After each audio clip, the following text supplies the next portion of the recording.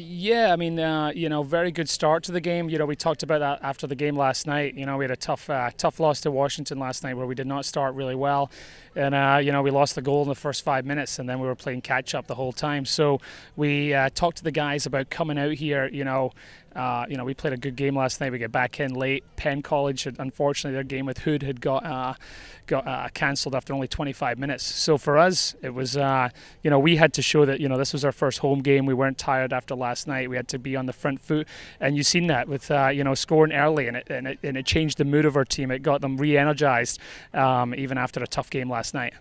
Well, I think it's a great thing because you know we are a young team. You know we got a lot of new players. We only we only had 14 guys come back, uh, and with 20 uh, you know 24 new guys coming in, you know it's it's going to take a little bit of time for a young team to get that chemistry.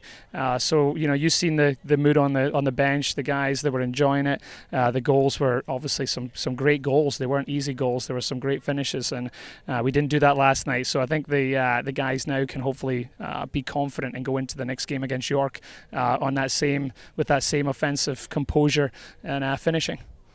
Well, you know, like I talked about, it's uh, you know coming off a hard loss last night. You know, first game of the season, losing two one, and you know we get we uh, you know we, we really thought we could have won that game. We only had, we had 17 shots and uh, only six of them on frame. So you know the fact is we came out and you know we you know we had 15 shots, but nine of them were on frame and, and six of them were in the back of the net.